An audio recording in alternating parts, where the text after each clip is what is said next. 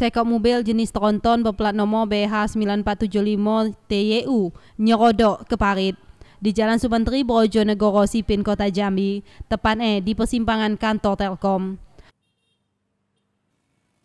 Perkara disebabkan waktu supir tronton melajukan kendaraannya nak mendahului mobil petugas dinas perhubungan. Sayangnya karena melaju terlalu tepi di ruas jalan tu sehingga perkara tak dapat terelakkan. Lebih lanjut berdasarkan data saksi mata yang diterima bahwa mobil di sub tu melaju sesudah petugas di dalamnya menghentikan tronton Niko dan memberikan supir surat tilang. Karena nekat mawak tronton masuk kota Jambi di luar batas operasi. Pas mobil patroli besi Polantas ini lewat, mau minggir, minggir supaya mobil besi tadi lewat, minggir-minggir langsung ini langsung terbalik, makan parit gitu. Kejadian sekitar jam berapa bang? Sekitar jam 3 Jam 3 sore tadi. Ya, jam ya? 3. Nasiruddin melajukan tronton dari Talang Duku Kabupaten Morojambi nak ke Kabupaten Tebo dengan mawak muatan kedelai.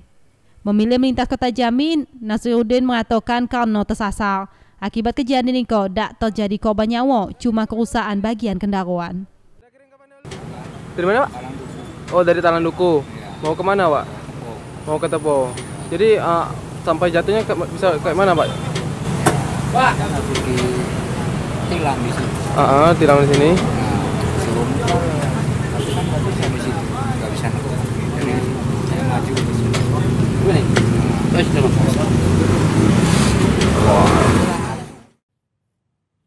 Azam Azmi, Jambi TV.